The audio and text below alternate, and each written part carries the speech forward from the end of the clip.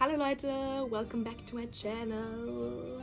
Das heutige Video wird ein kurzes Set-Tutorial sein zu dieser Frisur. Einfach einen sleeken, clean, tiefen Dutt. Für den Sleek Dutt braucht man einmal einfach irgendein Haargel, am besten ein stärkeres. Dann einfach irgendein Haarspray.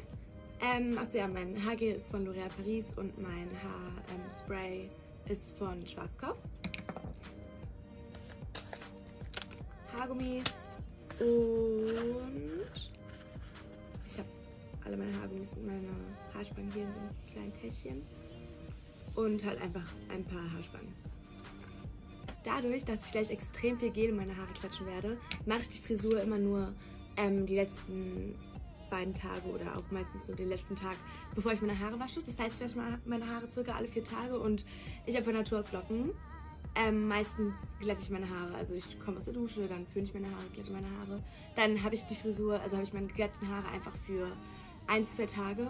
Und dann langsam, wenn ich dann einfach zu, zu faul bin oder so, meine Haare zu glätten, weil das hat einfach voll lange gedauert, dann fange ich einfach an, mir quasi den Dutt zu machen. Meine Haare sehen auch gerade schlimm aus. Aber deswegen mache ich jetzt auch den Dutt.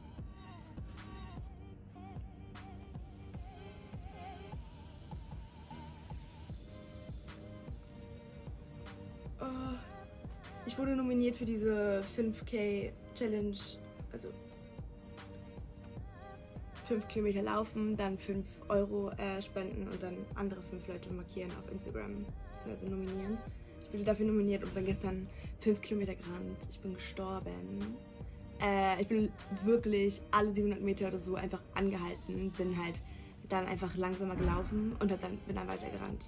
Das hat so lange gedauert, aber im Endeffekt habe ich die 5K geschafft und es war so anstrengend und meine Beine sind gefickt heute. Wirklich, meine Beine tun so weh und ich mache eigentlich, ich eigentlich wirklich viel Sport, ich tanze übertrieben viel, aber das hat meine Beine einfach zerstört. Sogar mein Oberkörper tut weh, sogar mein Bauch. Naja. Okay, äh, ich habe mein Haar jetzt gekämmt. Jetzt mache ich einfach mit meinen Nägeln mit Scheiter. Also es wäre gut, wenn man vielleicht so ein, keine Ahnung, so ein extra Kamm hätte oder so, aber habe ich nicht. Also ja.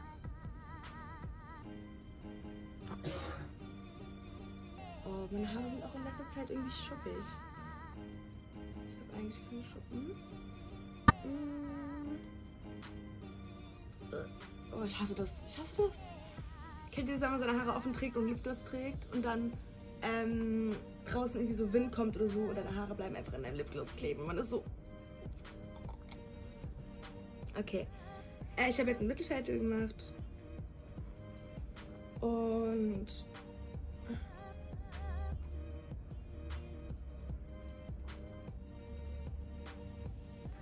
Was ich schon vergessen habe, sorry. Man nimmt nämlich auch noch eine Zahnbürste. Das ist einfach irgendeine Zahnbürste, die man für unterwegs mitnehmen kann. Und einfach irgendeine Basic Zahnbürste, die sieht auch eklig aus. Ähm, und die nehme ich halt einfach für meine Haare. So. Als nächstes mache ich mir einfach, nehme ich einfach ein Haargummi und mache mir einfach einen lockeren Zopf nehme mir die Zahnbürste und Gel und fange jetzt an, meine Haare einfach ähm, in Form, platt, glatt, was auch immer, äh, zu bürsten mit dem Gel und mit der Zahnbürste. Ich wundere, mein Spiegel steht da, deswegen gucke ich die ganze Zeit dahin. Ich fange immer hier vorne an ich will jetzt nicht unbedingt immer so meine Babyhaare so irgendwie so stylen, wie voll viele auf Instagram machen. Ich will einfach nur, dass die glatt anliegen. Man sieht schon, das sieht einfach schon viel sauberer aus als äh, die Seite.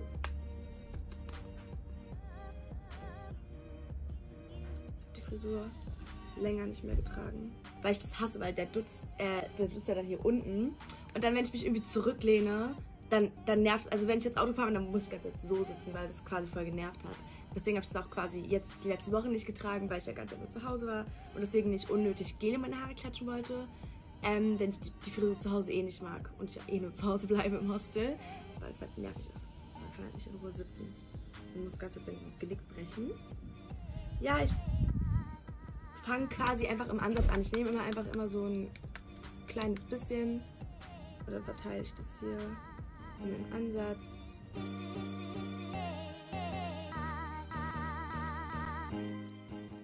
So, also ich bin noch nicht fertig, aber man sieht auf jeden Fall, also ich sehe es im Spiegel, ich schätze mal, man sieht es in der Kamera auch, einen Unterschied schon zwischen der Seite und der Seite.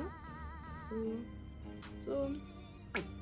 Er hat es jetzt quasi einfach nur erstmal grob. Ich mache jetzt das gleiche auf der Seite auch.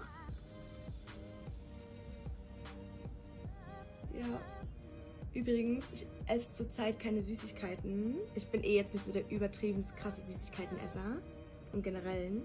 Aber seit ich hier bin, habe ich irgendwie immer so Kekse gegessen, voll viel. Und hier gibt es so. Ich bin jetzt auch nicht der, der größte Kekse-Fan, aber hier gibt es so einen Kekse. Die sind so lecker. Und wenn man einen Keks davon isst, dann kann man nicht mehr aufhören. Dann kann man wirklich nicht mehr aufhören. Ich habe dann immer fast eine ganze Packung gegessen. Und auch irgendwie Chips. Und ich bin eigentlich gar kein Chips-Mensch. Ich glaube, müsste ich Süßigkeiten in eine Reihenfolge bringen. Also Chips. Ups. Chips, Gummibärchen und Schokolade. Dann würde, glaube ich, als erstes Mm, also zwischen Gummibärchen und Schokolade ist es ein bisschen schwer, mich zu entscheiden. Die sind so quasi Platz 1 und dann kommt eine Lücke und dann kommt Chips. Also ich mag Chips, aber ich bin jetzt nicht so der allergrößte. Also es wäre das Letzte, was ich mir holen würde, wenn ich jetzt Lust auf Süßigkeiten hätte. Und hier essen halt irgendwie alle immer richtig viele Chips. Ja, was ich eigentlich sagen wollte, äh, man kennt den fadenverlierenden Boss. Ich habe mir letzte Woche vorgenommen, eine Woche lang keine Süßigkeiten zu essen und habe das auch vier Tage lang geschafft. Und dann an Tag vier abends hat es mich einfach überkommen und ich habe einfach so viel Süßigkeiten gegessen und ich war so, nein, scheiße. Und dann war ich sauer auf mich selbst und war nicht so, okay, ich mache jetzt einfach weiter die Woche zu Ende, sondern wir fangen die Woche nochmal von vorne an. Und diese Woche, welcher Tag ist heute? Heute ist Tag sieben. Ich habe schon seit sechs, seit sechs Tagen keine Süßigkeiten gegessen. Morgen kann ich mir richtig gönnen. Äh, ich überlege mir die ganze Zeit schon, was ich morgen essen werde. Und ich habe Lust auf dunkle Schokolade irgendwie.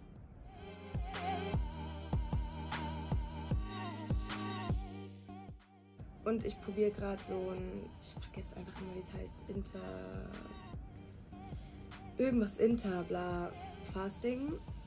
Da isst man 16 Stunden nichts und isst dann für 8 Stunden was. Generell hier frühstücke ich irgendwie immer voll spät. Aber in letzter Zeit habe ich mir immer diesen TikTok-Kaffee, diesen, wie heißt der? Diesen mit der Milch unten und dann halt diesen Fluffy, Fluffy Coffee, den habe ich die, die letzten Tage immer gemacht. Und habe dann aber halt einfach immer erst so zwei oder drei gefrühstückt. Ähm, und jetzt lasse ich einfach den Kaffee weg und trinke den dann um zwei. Und dann frühstücke ich. Und ja, man kann also quasi von 14 Uhr bis 22 Uhr abends essen und dann isst man halt einfach nichts.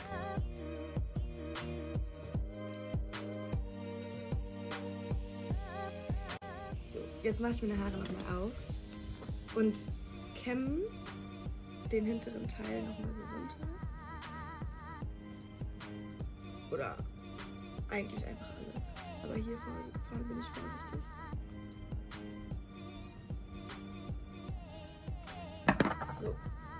Dann. Ich würde richtig gerne mal einfach so, so, also meine Haare offen lassen und die halt ordentlich geglitscht haben und nicht so wie das hier ist, was halt immer passiert, wenn man dann seine Haare glätschert und dann äh, Zopf macht. Sondern ich würde richtig gerne einfach mal so sleek Look, entweder mit Mittelscheitel oder halt einfach so nach hinten ausprobieren. Vielleicht mache ich das einfach mal die nächsten Tage, beziehungsweise, obwohl ich könnte das eigentlich noch machen, bevor ich meine Haare wasche. Okay. So,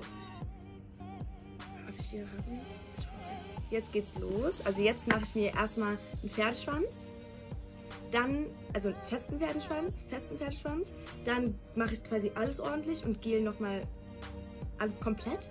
Und dann fange ich an, quasi meine Haare in ein Dutt zu bringen und Klammern und Haarspray. Ja, das seht ihr ja. Ich benutze 1000 Haargummis und 1000 Haarklammern. Meine Haare sind mittlerweile voll lang geworden. Ich habe eigentlich nie so lange Haare. Meine Haare sind eigentlich immer so ungefähr.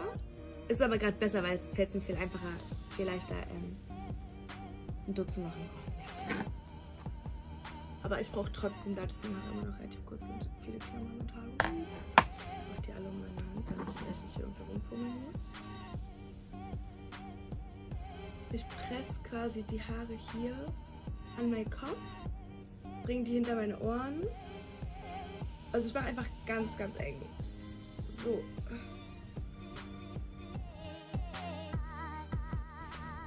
Auf die Höhe hier. Relativ weit unten.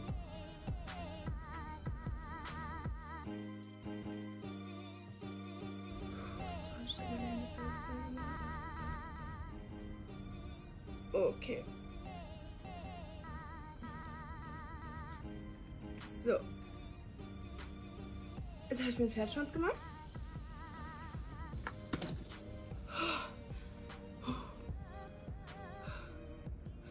Voll umgebracht. Mir wurde plötzlich richtig, richtig heiß. Und jetzt wiederhole ich einfach das, was ich vorhin gemacht habe, bloß in ordentlichern.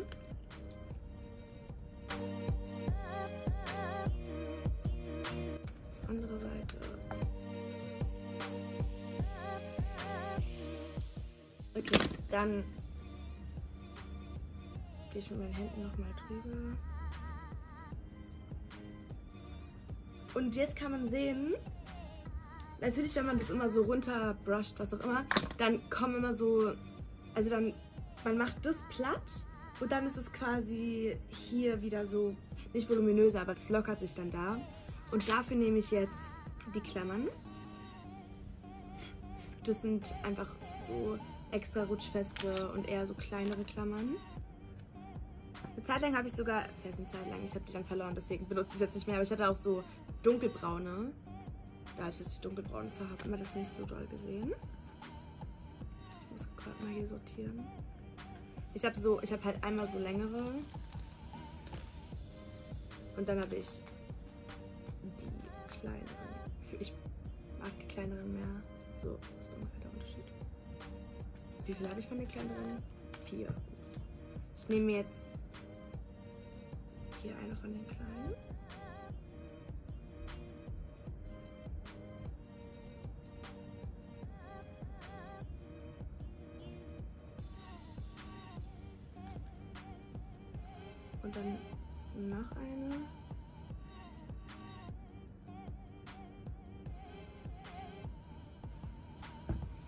Das gleiche auch auf der anderen Seite.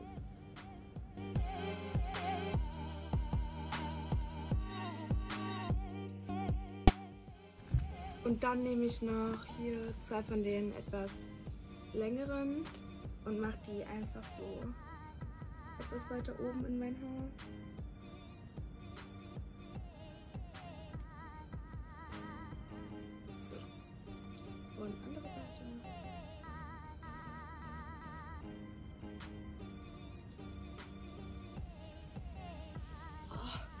Kennt ihr das, wenn es weh tut? Oh nee, jetzt habe ich verkackt. Egal. Man sieht es jetzt nicht so sehr, aber. Nee, ich muss jetzt. Guck mal, das ist jetzt genau das. Ich habe noch hier eine Mini gefunden. Die mache ich mir jetzt noch hinten in die Haare. Weil das sich sonst voll locker noch anfühlt. Oh, das passiert mir immer auf der Seite und ich bin immer so, ich raste immer aus, wenn ich meine Haare mache. Kennt ihr es, wenn man sich fertig macht? Und man findet kein Outfit. Beziehungsweise man ist schon fertig gemacht, man, sein, so dein Make-up ist gemacht und deine Haare sind gemacht und dann kannst du dich nicht entscheiden, was du, anzie was du anziehen sollst und man wird richtig sauer und dadurch, dass man dann sauer ist, dann wird man traurig und dann wird man wieder sauer und dann ist es einfach, ist einfach nur anstrengend.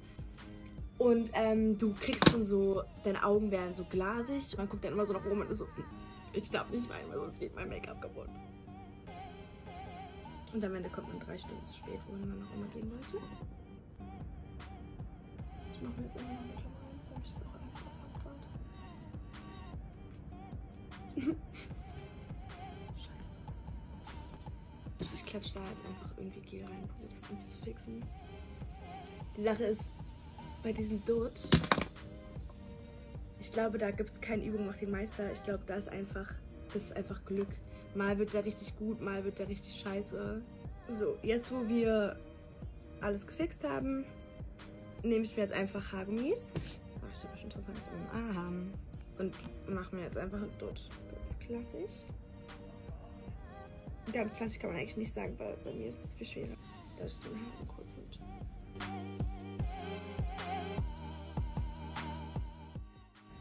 Und ich fange jetzt einfach quasi an. Ich mache jetzt 1000 Haargummis rein, um immer so meine Haare, die so überstehen, nach unten zu pressen.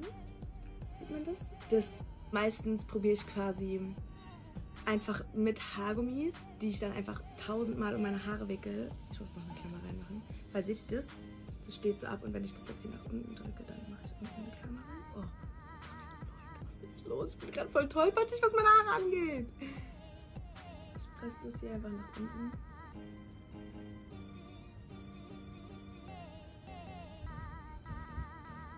Okay. Okay. Beste draus. Genau, dann mache ich einfach das Haargummi so für meine Haare. Und mit dem letzten Mal probiere ich dann einfach quasi alle Haare so nach unten zu quetschen. Und ich habe auch so eine Mini-Mini-Haargummis. Da mache ich es quasi einfach nur einmal rum und hoffe, dass es nach unten quetscht mäßig. Ja, also man kann sehen, der Dutt an sich geht, aber diese Mini-Dings ist immer noch da. Deswegen mache ich jetzt einfach noch ein Haargummi drum. Wünschen Sie mir Glück, dass es jetzt klappt.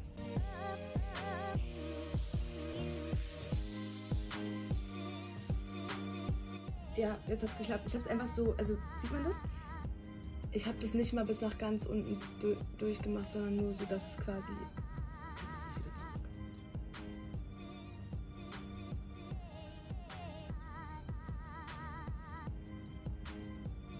So, jetzt steht hier wieder was ab. Also wieder Haargel. Es wird auf jeden Fall einfacher für euch, äh, einfacher für euch sein, wenn ihr wenn ihr längere Haare habt, dann nehme ich noch hier so ein bisschen Gel und mache das. Das ist voll schwer für mich, das selber zu machen, aber ich probiere einfach so meine Haare hier hinten ein bisschen hoch zu bürsten. Ich würde sagen, jetzt sprühe ich noch so ein bisschen Haarspray auf meine ganzen Haare. Also ich denke, ihr versteht das, was ich meine. Ich habe ja jetzt quasi die Frisur gemacht und dadurch, dass man so viel in seine Haare klatscht, will man das halt auch nicht jeden Tag machen und will das auch nicht machen, wenn man seine Haare frisch gewaschen hat. Und will das auch nicht machen, wenn man einfach nur zu Hause chillt. Ja. Das ist eigentlich einer meiner Go-To-Frisuren. So, und eigentlich, also jetzt zum Beispiel habe ich gerade ein schwarzes Oberteil an, komme ich einfach schon so alles in KG und jetzt hier dadurch, dass ich ja jetzt gerade ein schwarzes Oberteil trage, äh, würde ich eigentlich gerne schwarzes Squashy tragen oder gar keinen. Ich habe einen weißen und einen grauen und der weiße ist mittlerweile. Der ist richtig dreckig. Ich muss den irgendwie waschen. Es war so ein Dreierpack von Monkey. In schwarz und weiß und grau. Und ich habe so lange nach einfach einem weißen Scotch gesucht. Ich habe nirgendwo einen gefunden. Nirgendwo. Und dann endlich bei Monkey. Auf jeden Fall würde ich jetzt eigentlich einen schwarzen Scrunchie tragen, aber ich habe keinen. Ich habe ihn verloren, also trage ich einfach keinen Scrunchie. Und genau. Das war's auch eigentlich. Ich habe Spray in meinem Mund.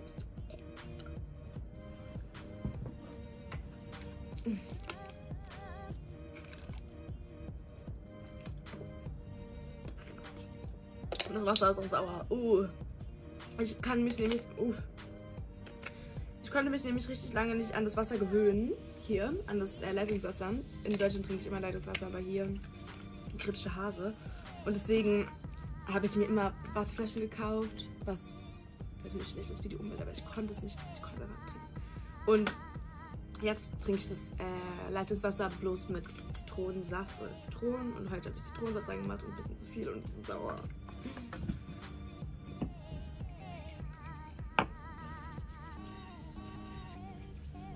Okay. Dankeschön fürs Zuschauen. Ich hoffe, es hat euch gefallen. Und falls ihr die Posi und falls ihr die, die ich kann nicht mehr reden.